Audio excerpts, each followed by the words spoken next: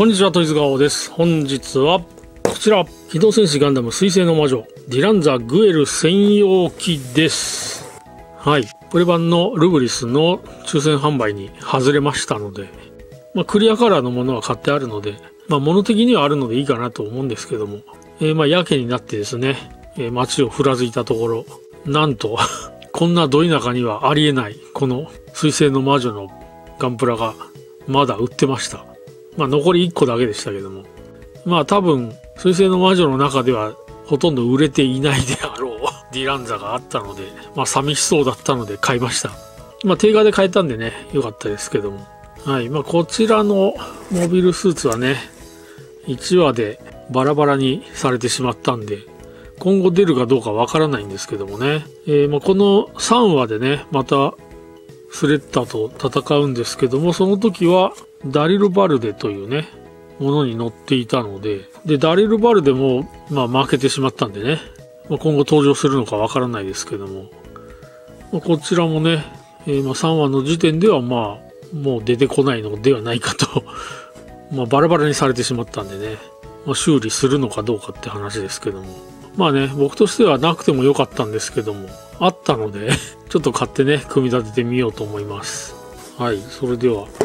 ランナー確認していきたいと思います。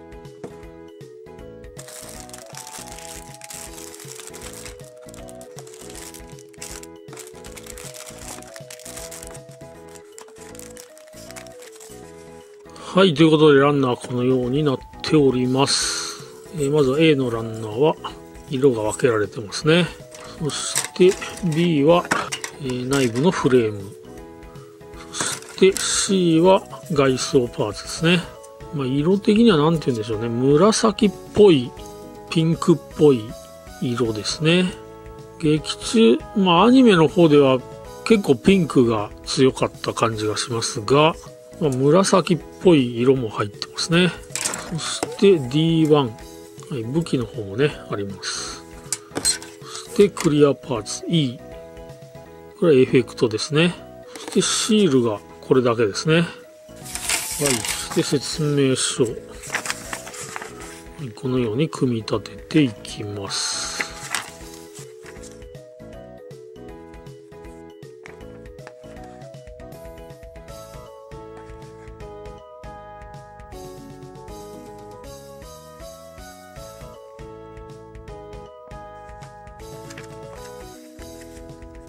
はい、ということでね、完成するとこのように、武器がね、結構豊富で、ビームパルチザン、ビームライフル、ビームトーチなど、いろいろなものがありますね。割と装備も充実していて、ガタイもね、どっしりとした感じになっているんですけども、えーまあ、ガンダムエアリアルの、えービット展開によりですね、えーバラバラになってしまったと、え全く歯が立たずにですね、ルールとしては角を折れば勝ちなんですけども、今ダメ押しでね、今バラバラにされてしまったんですけどもね。なので、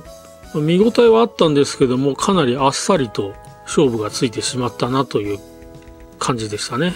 はい。なので、こう、じっくりとこのね、細部まで見られたかというと、全く見られなかったのでね、これをね、飾っておけば、ディランザってどんなだったっけっていうのをね、すぐに思い出せると思います。まあ、パーツ的には、まあ、外装がね、大きいので、まあ、あまり細かいパーツはね、ないんじゃないかと思いますので、組み立てやすいのではと思いますね。はい。では、こちら、組み立てていきたいと思います。はい。ということで、ディランザ・グエル専用機、完成いたしました。はい。割とね、こう、ごっつい感じのものなんでね、えーパーツがちょっと大きめで、結構作りやすかったですね。まあ、1時間ぐらいで完成したと思います。はい。こちらがディランザのグエル専用機ですね。量産型のディランザもまた後々出ると思いますが、まあ色的にも多分違うんでしょうね。で、このね、角のあたりもゴージャスになってますね。こういう羽がついていて、で、まあ全体的にもね、かなりごっつい感じになってますね。この肩アーマーも、ね、武器が入っていたりするんですけども、そして後ろもね、こういった、まあ、な何の機能かわからないものがついていますが、はい、あとは稼働は、まあ、エアリアルの時とちょっと似てるんですけども、まあ、頭はね、まあ、あんまり動かせないんですけども、一応ボールジョイントなんでね、まあ、このぐらいは動かせますね。で、このね、腕の付け根は、こう前方に引き出すことができます。はい、斜めにね、引き出せます。そして、まあ、二の腕ロールとか、肘関節は二重になってますね。そして腰も回りますね。このように、胸も、えー、上がりはしないんですけども、下げることができますね。そして足も、エアリアルと同じような、付け根はこのように前後左右いろんな角度に回りますね。そして膝も二重で、そして足首に関節がね、いろいろと入っておりますね。つま先も上がります。なので、かなり足の方もね、融通の利く形になっております。はい、そして武器ですが、えまずこちらのね、ビームパルチ弾。え通常はこのようになっておりまして、え、エフェクトを出すとこのようなね、十字の T 字っていうんですかね。このような、綺麗ですねちょっ。とこう光が当たると、え周りがちょっと光って見えるみたいなね。そんな感じのエフェクトになってます。はい、まあ、こちらは持たすときは、手の外側を外して、そしてこの細い部分を入れて、そしてまた取り付けます。はい、これで持たせることができます。まあ、長いのでね、両手持ちも可能ですね。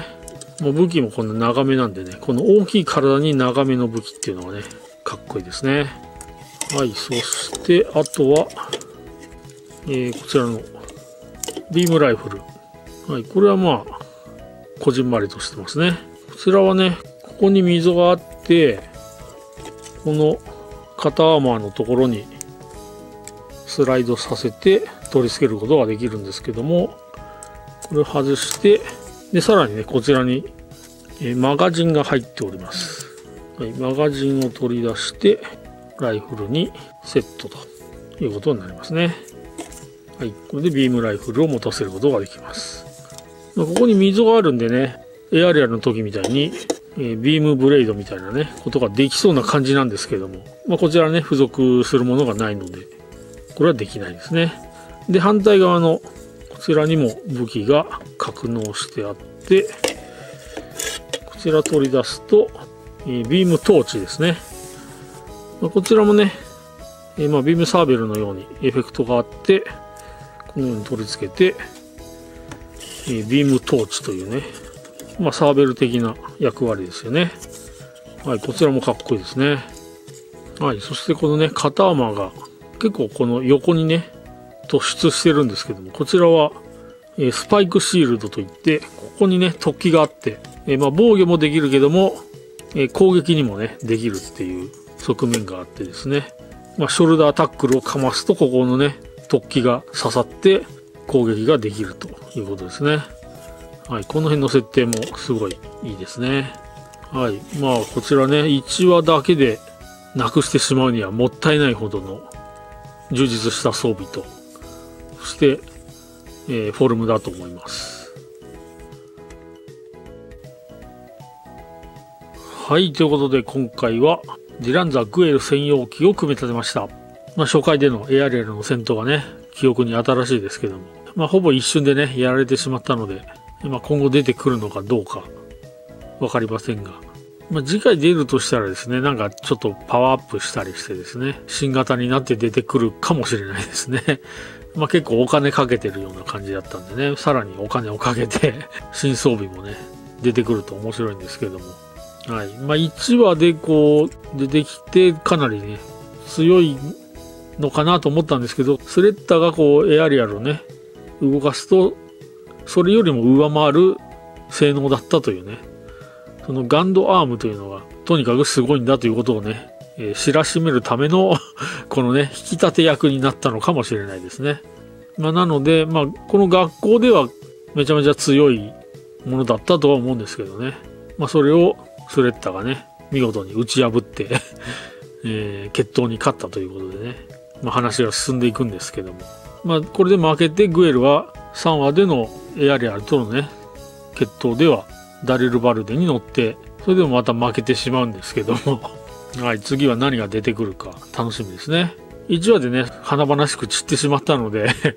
まあ今後出てくるかわからないんですけども、グエル専用ディランザはですね、いっぱい売ってるところでは、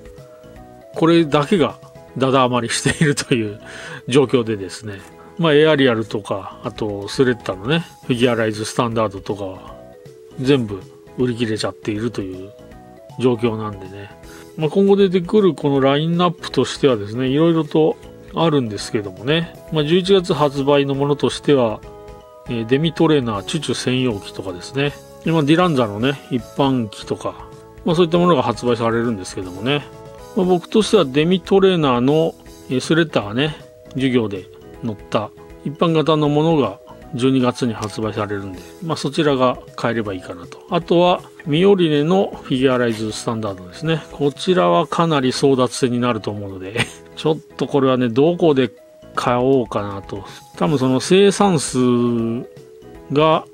まあ、エアリアルとかスレッタよりも少ないと思うんですよね。ちょっとこう、完全な主人公ではないので、まあ、11月発売なんですけども、まあ、ミオリネは地元の一番近いところか、もう思い切ってね、東京のね、ガンダムベースまで行って 買うかという感じですかね。はい。まあ、その辺をまたね、じっくり考えて決めたいと思います。はい。ということで、以上、トイズガオでした。ご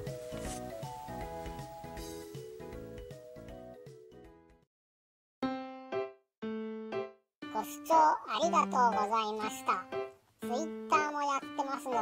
そちらもチェックしてみてください。評価、コメント、チャンネル登録などもよろしくお願いします。それでは、またね